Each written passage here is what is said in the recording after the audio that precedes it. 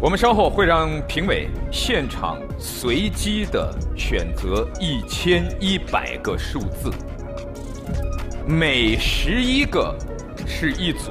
各位，难度还在于我们让挑战者在三十分钟时间内进行记忆，而这一千一百个数字，我们出现在大屏幕上的时候，并不会给它分组，我们是一整屏出来。中间没有分隔。记忆完毕之后，我们现场会把这一百组数字随机的打乱它们的顺序。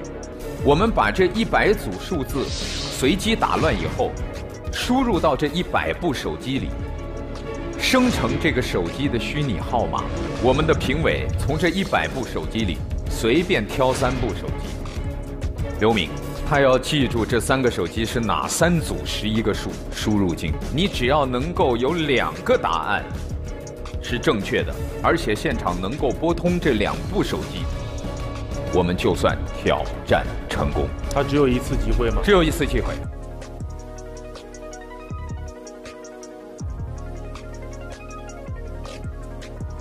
这一千一百个数字现在已经输入到系统了，挑战开始。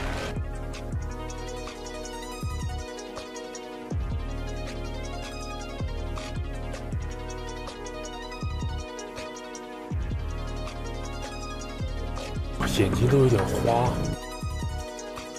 人类的记忆，三十分钟之内，你百分之四十已经忘记了；到了一个小时，你百分之六十的都忘记了。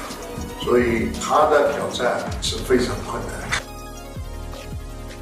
看的过程当中，开头还好，但是到了中后部的时候，感觉眼睛会特别的干，感觉整个的屏幕上的数字都在跳，都在动。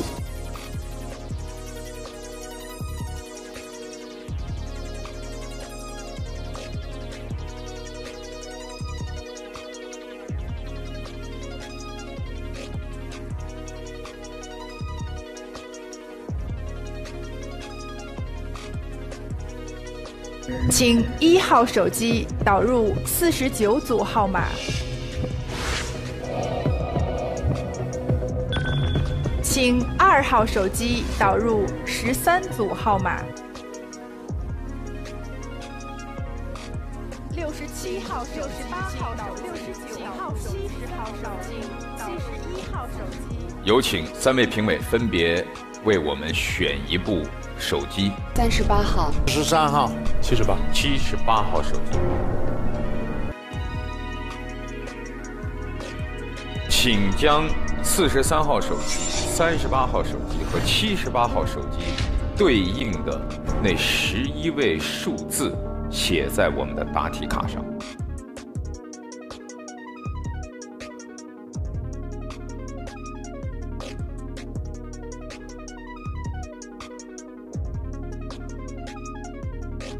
主持人，我已作答完毕。哪一位想率先接到电话？七十八。好，孙杨的这部七十八号手机能否接通？没有此电话对应的数据，这个意味着号码错误。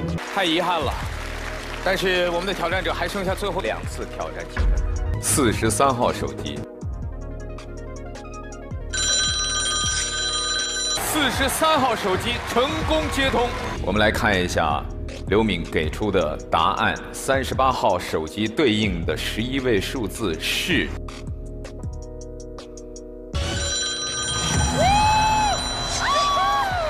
挑战成功。